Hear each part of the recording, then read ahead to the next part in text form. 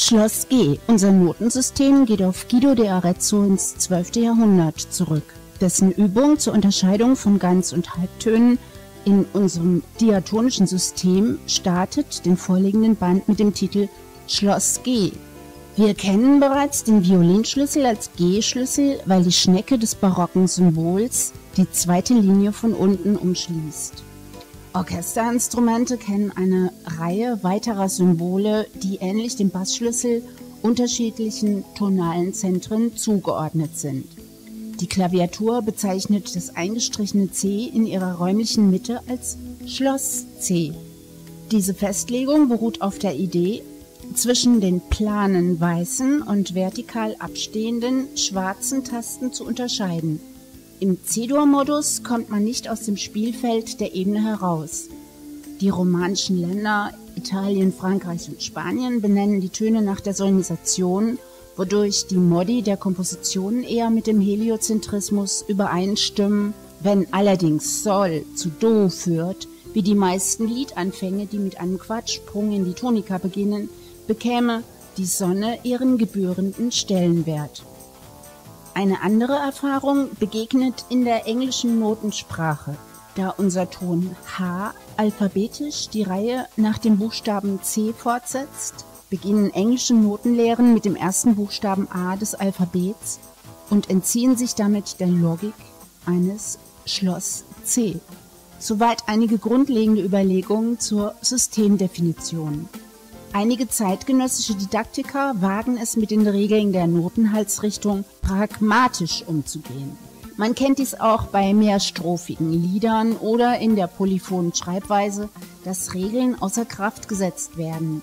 Ein Grund für eine Neuregelung ist der Stellenwert der Fingersatzangabe bei nordamerikanischen Notenschulen, deren Priorität bei John W. Schaum und Bastin bei Anfängern auf Kleinschrittigkeit und Überschaubarkeit beruht.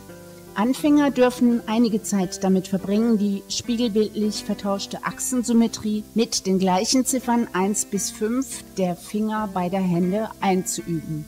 Wenn die Notenhalsrichtung zum Paradigma erklärt wird, kann dies als Unterscheidungsmerkmal beider Hände fungieren. Kinderlieder überschreiten in der Regel nicht den Zehntonraum hat der Pädagoge allerdings Eleven zu betreuen, welche nicht Blockflöte als erstes Instrument lernten, steht man oft vor der Schwierigkeit, dass sich Kinderstimmen schwer tun, sich an die Sopranlage des Violinschlüssel-Tonraums anzupassen.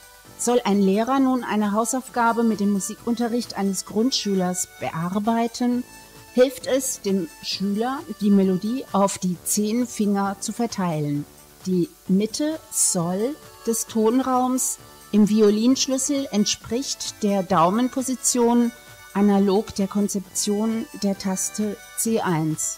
Damit erhalten Kinder eine intrinsische Motivation für den Instrumentalunterricht, womit sie immerhin Anforderungen allgemeinbildender Schulen entgegenkommen.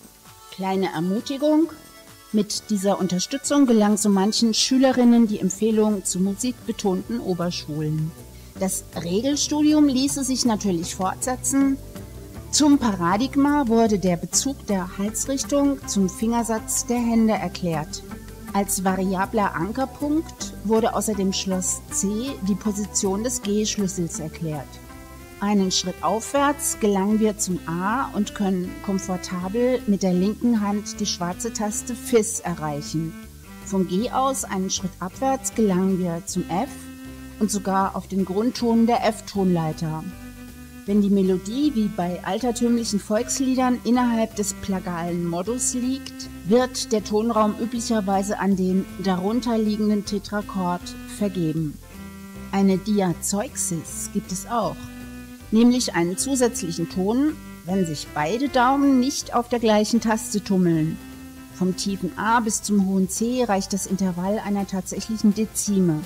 Sonst vergeben wir einen Abstand durch Doppelbelegung. Mutige Jungs und Therapeuten für verschüchterte Sensibelchen bevorzugen auch tiefe Lagen wie die D-Position zur Charakterisierung großer Tiere mit Schuppenpanzern.